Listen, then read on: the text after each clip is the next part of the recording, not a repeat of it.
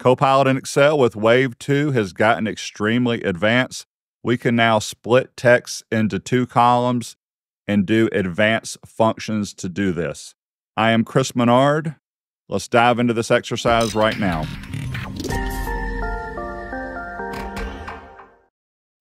This is advanced because column B has location, and if you notice, there's countries to the right of the comma, with the exception of USA.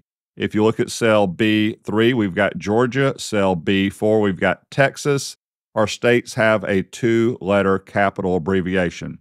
So put Italy in cell C2, but I want to put USA in cell C3 and USA in cell C4 as an example.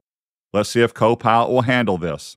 I'm going to click inside my data. I am not making this a table. Copilot will now work with tableless data. So basically, this is a range.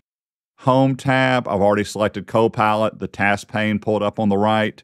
Down in the prompt box, I have put the prompt so you don't have to type this. It starts off with add a new column, so just paste it in here and then send it.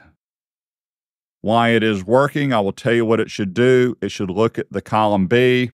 If it finds the two letters that are capitalized, it should put that in as USA. If it doesn't see the two letters, it should actually put in the name of the country. It is done working. I can hit show explanation and read through exactly what it did. And I knew it would do an if function, and there it is right there. It did a really long nested if statement, really long nested function right here using let also. This looks good. I am looking at my data. If you recall, you can mouse over insert column. It'll show you the rest. I'm just looking at Italy, USA, USA, and Canada. And that looked correct, but insert column. This is perfect. I'm going to click it.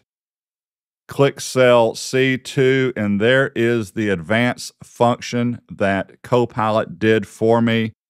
More importantly, whether you understand the function or not, it got it correct. Thank you for your time. My Copilot online training class is available along with these other classes shown below. Have a wonderful day.